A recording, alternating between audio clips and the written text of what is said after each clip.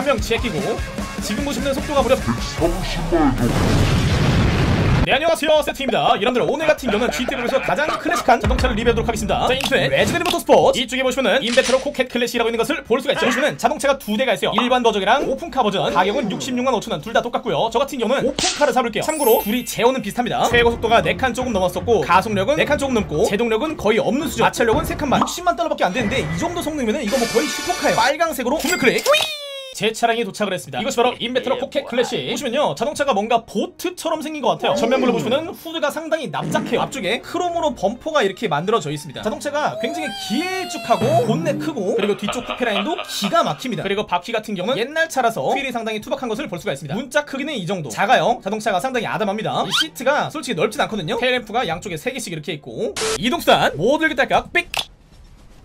삑! 후드 안 열려? 오, 엥? 삑! 후드 안 열려? 오, 엥? 뭐 닫기? 삑! 삑!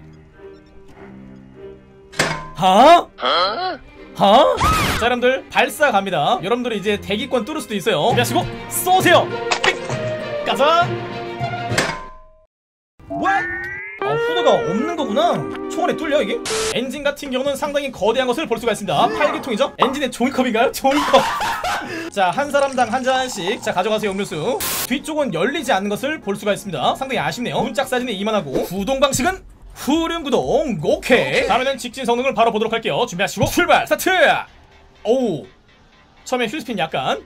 그리고 서서히 빨라지기 시작합니다. 이동산 제원 같은 경우는 상당히 좋았는데 뭔가 발끝으로 체감이 가진 않아요. 빠르긴 빠른데 아직 정확한 역량은 모르겠습니다. 보시면은 뭐야 지금 100, 120마일이요? 어? 최소 합격. 여기서 핸들링 오른쪽, 왼쪽.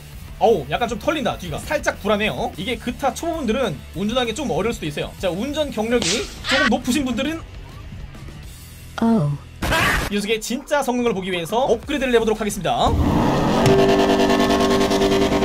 내구도 full up, 브레이크 full up, 그 다음에 범퍼 먼저 앞범퍼 같은 경우는 종류가 의외로 되게 많습니다. 1차 색상 범퍼 splitter 그 다음에 뒷범퍼 같은 경우는 1차 색상 뒷범퍼 엔진 full up 그 다음에 머플러 같은 경우는 여기에서 레이스 머플러 그 다음에 후드, 후드 같은 경우는 건드리지 않겠습니다. 경적은 아무거나 조명, 제논 헤드라이트 네온 키트는 앞면 뒤면 옆면 네온 색상은 조직 라이트. 그 다음에는 상징을 보도록 하겠습니다. 보시면은 상징이 상당히 화려한 것을 red 프레 그 다음에 번호판 풀업. 자 다음에 도색 1차 색상은 salmon pink 그 다음에 2차 색상은 salmon pink 그 다음에 조직 상징 팅 달아드릴게요 roll cage. 건드리지 않겠습니다. 그 다음에 지붕. 어 뭐야? 지붕 이렇게 달 수가 있다고? skip. 트랜스미션 풀업. 터보 장착 완료. 자 다음에 휠. 휠 같은 경우는 튜너 중에서 골라드리겠습니다. 랠리 마스터. 그 다음에 휠 색상은 salmon pink. 타이어. 개조형 타이어 장착 완료. 타이어 향상 방탄 타이어 장착. 타이어 연기는 검은색 타이어 연기. 창문은 없어요. 자 그렇다면 이제 개조가 끝났습니다. 나가볼게요. 창문은 자 다음에는 drag race를 해보도록 하겠습니다. 오셀러 스트롬버그 D클래스 토네이도 딘카 제스터 클래시 람파다티 비세리스 위니 다이너스티 D클래스 맘바 오셀러 스트롬버그 뒤바치 JB700W 아니스 레무스 인폰트의 디럭스워 그로티 치타 클래시 프로젠 GP1 그로티 GT500 D클래스 맘바 그로티 투리스모 클래시 브라보드 벤시 900R 바피드 도미네이터 브라보드 건틀렉 클래식 커스텀 바피드 아포칼립스 임포레이터. 출발!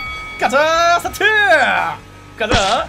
오오오 방금 뭐야 방금 어떤 사람이 요철을 밟았어요. 그리고 저 같은 경우는 1, 2, 3, 4, 5, 6, 7, 8, 9, 10 11등 그리고 12등 13등 14등 뒤쪽으로 살짝 밀리는 것을 볼 수가 있습니다. 지금 멤버가 22명인데 거기서 14등 15등 16등 그리고 제 뒤쪽에는 하나 둘 셋 넷 다섯 대략 한 18등. 어 대략 한 18등 정도 들어온 것을 볼 수가 있습니다. 여러분들 안 되겠습니다. 장거리도 봅시다.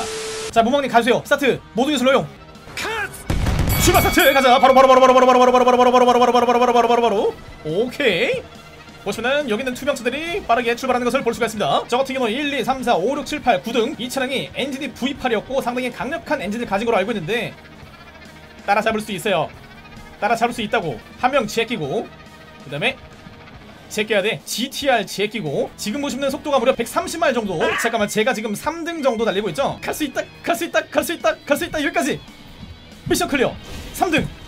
3등인가? 1등 크리거 2등 지피온 3등 비세리스 4등은 세팅이 들어온 것을 볼 수가 있습니다. 클래식 차량이 130마일 가까이 나온다는 것은 뭐 정말 대단한 겁니다. 다음에는 오프로드 성능을 보기 위해서 제가 산을 조금 달려볼게요. 이쪽으로 출발. 오케이. 갈 수 있어.